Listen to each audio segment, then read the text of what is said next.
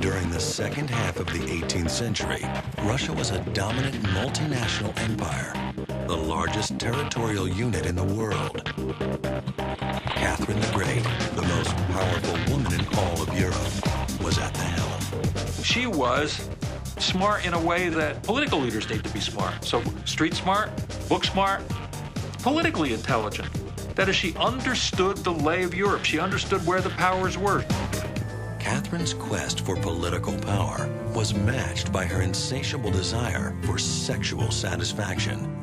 As Catherine herself wrote, The trouble is that my heart is loath to be without love, even for a single hour. She was a woman of great passions and great power, and uh, and yes, people talked about it, but she was very serially monogamous.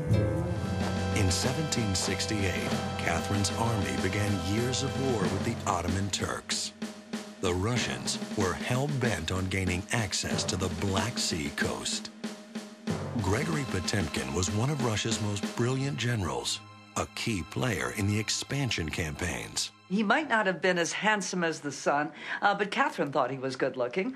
Um, and he was missing one eye, but seemed to make up for that with the kind of virility of his demeanor. This one eyed, greasy, brutish giant who she adored uh, passionately. He became probably the love of her life.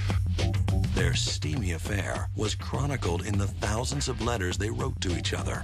If you read Catherine's love letters, which I think are the most direct way to really get at who she was, the most honest sort of thing she ever wrote, she comes across as someone incredibly playful, incredibly fun. She could be silly. She loved to come up with all sorts of pet names for Potemkin. Their connection evolved from a peerless love affair to a potent political partnership.